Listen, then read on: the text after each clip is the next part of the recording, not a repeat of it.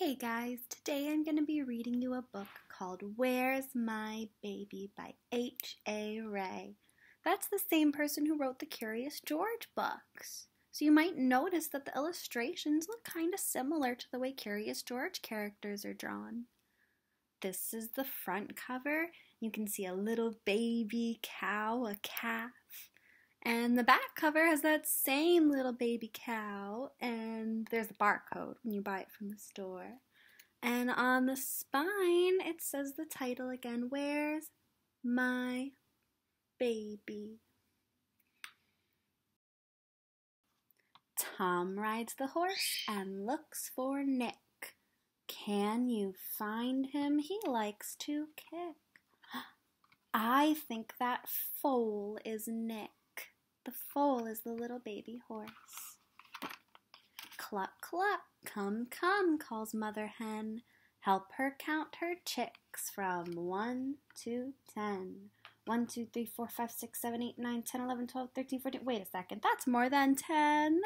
Try again. One, two, three, four, five, six, seven, eight, nine, ten, eleven, twelve, thirteen, fourteen, fifteen, sixteen, seventeen, eighteen, nineteen, twenty. Twenty little chicks. Mother cow's child is baby calf.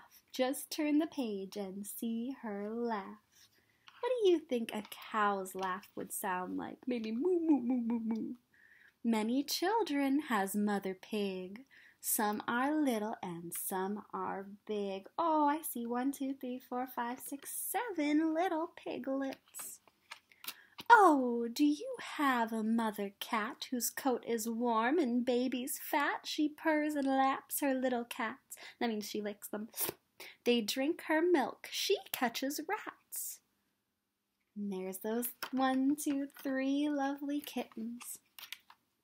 The mother kangaroo can jump a long way in one leap.